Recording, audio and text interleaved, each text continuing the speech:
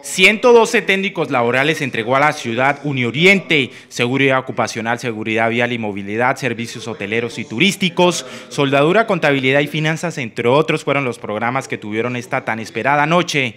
Como decía anteriormente, es muy satisfactorio entregarle conocimientos y valores que fortalecen la ciudadanía eh, y el quehacer en Barranca Bermeja, en nuevas empresas y en posibilidades de desarrollo eh, a nivel científico y a nivel cultural.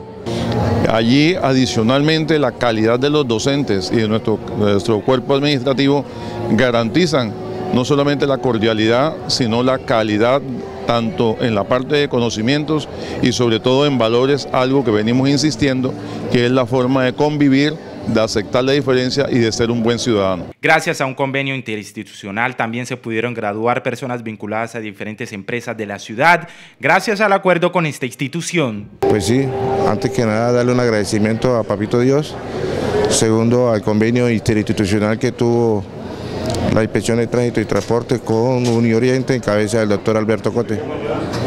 La verdad, muy complacido y siempre he dicho, no debemos acostarnos sin antes aprender algo nuevo. Primero que todo, estoy estudiando servicios hoteleros y turísticos.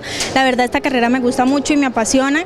En este momento la estoy ejerciendo. Unioriente me dio la oportunidad de prepararme más y pues es un momento muy feliz para mí porque es un logro más para mi vida. Ahora estas personas tienen la oportunidad de seguir aportándole a una Barranca Bermeja educada y capacitada para el buen desarrollo de la economía de la ciudad.